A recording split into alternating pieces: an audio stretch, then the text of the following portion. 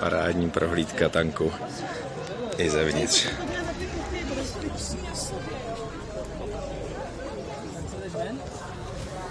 O, pět metrů, že to umí brodit? Do pěti metrů, no. Tady se nastaví kompas a jede se.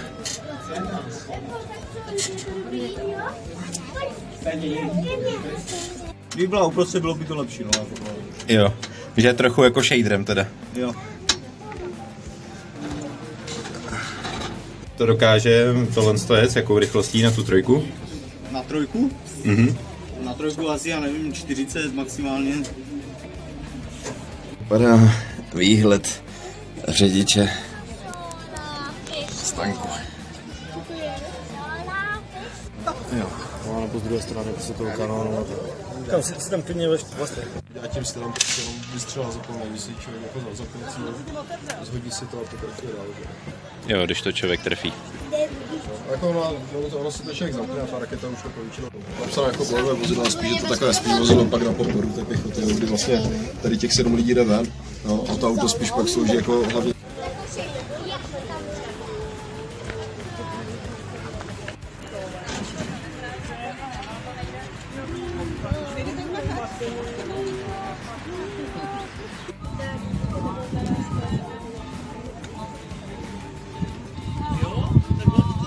Tohle to má někde na zádech. Nahrať náboje.